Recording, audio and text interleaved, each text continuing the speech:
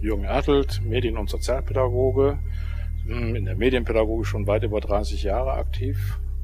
Hm, immer noch Neues zu entdecken und äh, viele Themen wiederholen sich aber mit neuen Perspektiven und neuen Argumenten, mit neuen Eindrücken. Es langweilt mich weiterhin nicht und arbeite derzeit als Projektkoordinator bei IHAB, Fachstelle für internationale Jugendarbeit in Bonn und äh, dort im Projekt Usebart digitale Jugendbeteiligung beschäftigt.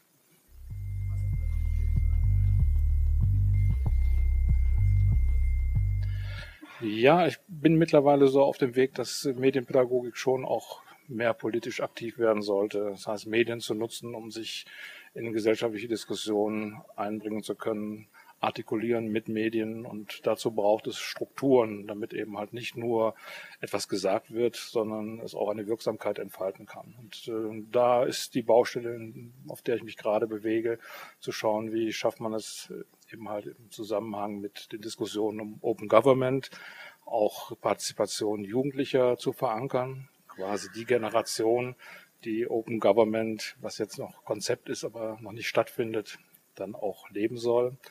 Äh, dass die auch jetzt schon mitgedacht wird, eingebunden wird und Verfahren implementiert werden, die es zulassen, dass eben halt tatsächlich eigene Standpunkte, eigene Positionen von Jugendlichen Einzug ins Gesetzgebungsverfahren finden. Es hört sich immer so groß an mit Gesetzgebungsverfahren. Es geht das nicht um Landes- und Bundesrecht, sondern einfach mal auf lokaler, kommunaler Ebene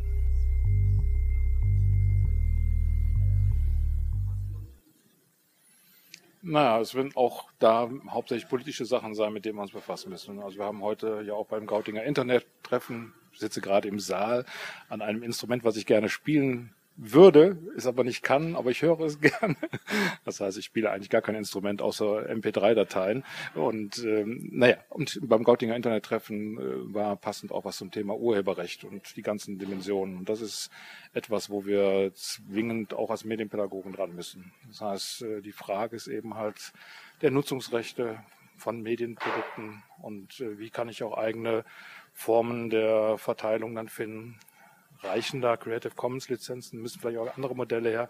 Braucht es nicht doch tatsächlich auch eben halt eine Erneuerung des Urheberrechts im digitalen Zeitalter, um Rechtssicherheit zu erlangen, auch für medienpädagogische Produkte, die wir mit Kindern und Jugendlichen erstellen. Auch dass wir da einen Freiraum haben für Remixe, für neue Interpretationen. Ja, wir dürfen nicht hingehen und äh, es einfach annehmen, ein altes Recht und damit aufgeben die Chancen, die wir auf eine veränderte Kultur, auch auf Entstehung neuer Jugendkulturen dann äh, auch als Option hätten und sehe das so auch als eine wichtige Aufgabe. Ansonsten, alles wird mobil.